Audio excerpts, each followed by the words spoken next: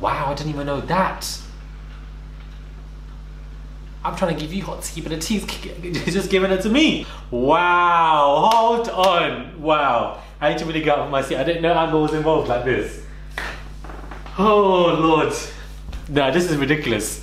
Megan slams Wes and calls him a budget living Chris Brown. Budget version of Chris Brown that he's, he's loving.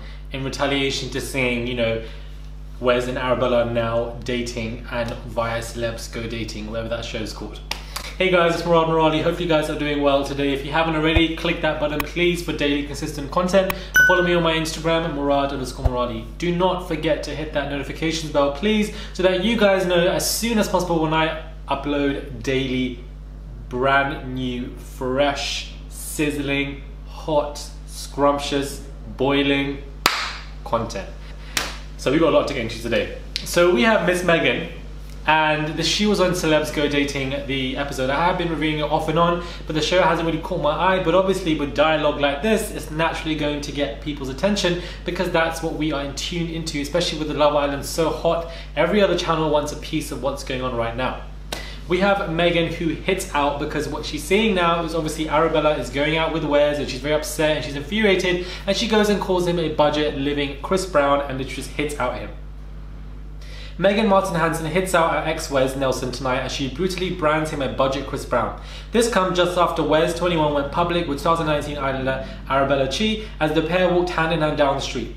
During her date on Celebs Go Dating tonight, Megan doesn't waste any time in hitting out her ex, who she has already cried over promising her kids in marriage.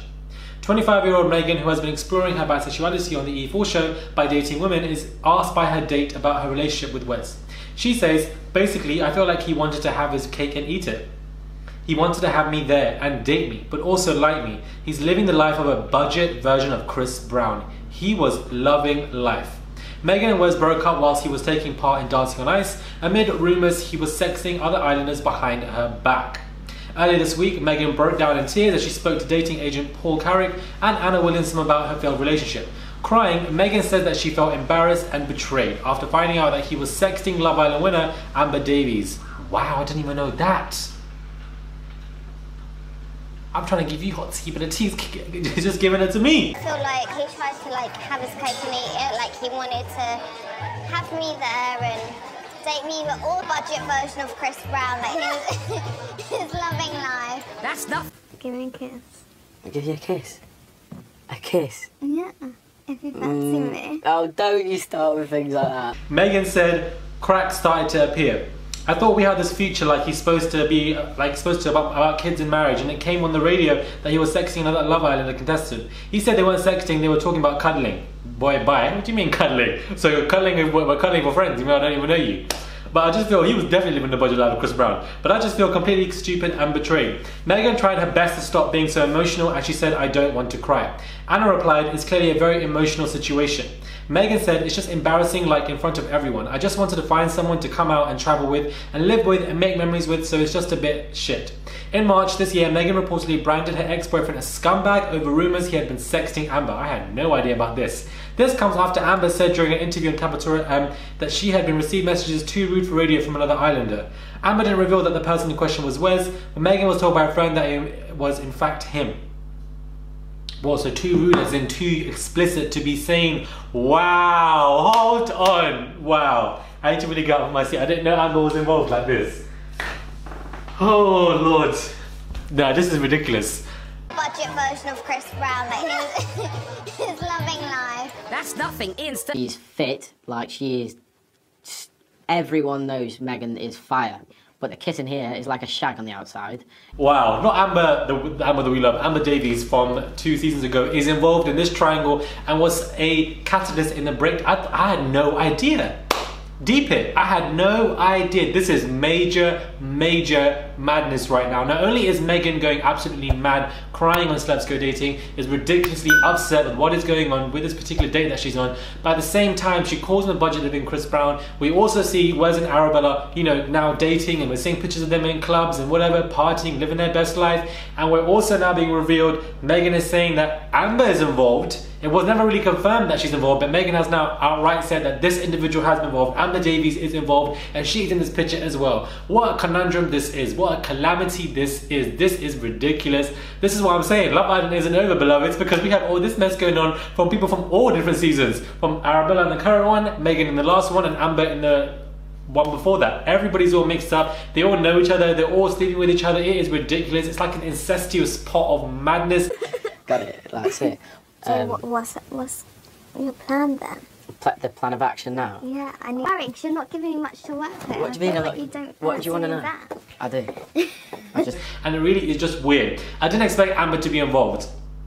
I did not expect Amber to be doing the most like this. Amber Davies. Now, obviously, this was post Ken breakup, but at the same time, like, was she texting and sexting Wes whilst Wes was with Megan, and she knew that Wes was with Megan, and she's constantly talking to this person about cuddling, and apparently Wes was saying things that were too rude for radio and too explicit to Amber, and um, Amber Davies was obviously, you know, cooperating with all of this because obviously you are. Wes is texting himself, and she knew that he was with Megan but she's still doing this madness. Hopefully, that this is the picture that I'm painting. That's believe that's what I, that's what I believe is happening. But perhaps Amber did not know. Perhaps they broke up, and they were on a break, and then Amber kind of stepped in.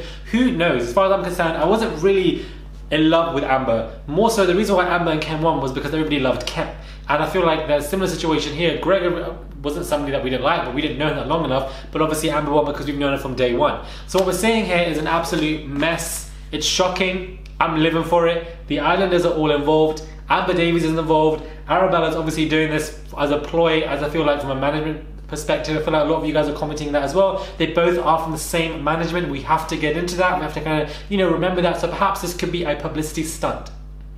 Perhaps this could be a publicity stunt. Do you guys think this is a publicity stunt? I believe it could be to keep the names in the air because I feel like, you know, we haven't really heard of Arabella for a while now. Let's not forget that. Think about it. If you actually deep it, since Amy Hart came out with the fact that, you know, Arabella was going into the villa and she, you know, gave bad information to Amy to make Amy feel bad about herself and, you know, XYZ and we were all upset and irritated and she kind of basically just blasted Arabella, drew her out on the loose women, spilling all that tea and since she's done that, we have not seen Arabella in any interviews.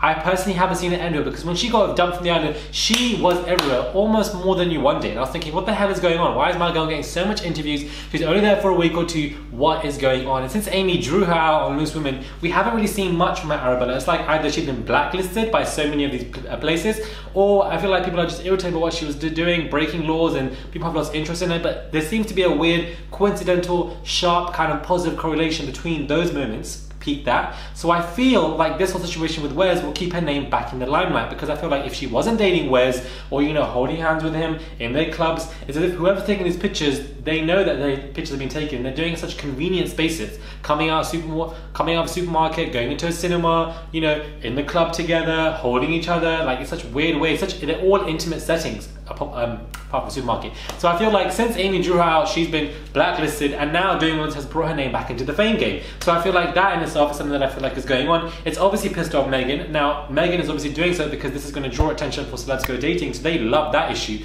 They love the fact that this is going on, so that we can all watch these videos and you know start to be tuned into that. And obviously we also have Amber Davies now being involved because Megan has properly drew her. She just drew her out right now, spoke about it, and said that she was a catalyst not, uh, she isn't the only catalyst because I feel like there was a girl for Dancing on Ice who also added to that. So perhaps there was cracks in the ice.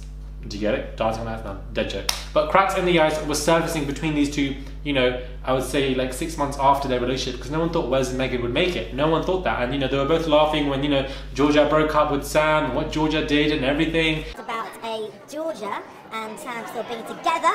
You basically are Mystic Meg. Basically. No comment. You surprised? The- Mm, I'm not. I'm not gonna lie. The nation. I'm not at all. But lo and behold, so much happened with those two as well. And then, you know, Megan was upset because they had a hamster together, like all of that madness that took place. It is just ridiculous. It's absolutely crazy. Let me know what your thoughts are on this whole triangle, square, pentagon, I don't even know, child, of just mess between all of these islanders. What are your thoughts? Do comment down below, I'd really appreciate it.